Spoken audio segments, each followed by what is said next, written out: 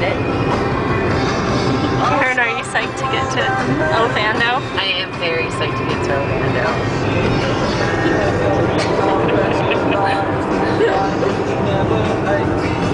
We're about